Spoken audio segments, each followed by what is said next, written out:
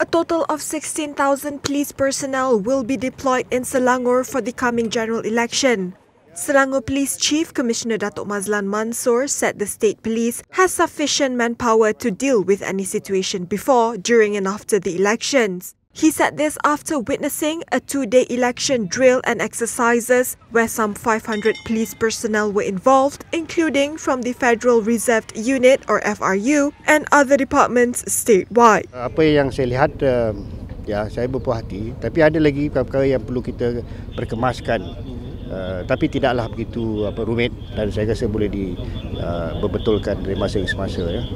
Commissioner Mazlan said the election exercises started on Saturday, where the police were involved more on tactical moves and tackling smaller incidences. He said these exercises are important to gauge and test the police's capabilities on many aspects, especially that of OCPDs in dealing with emergency situations.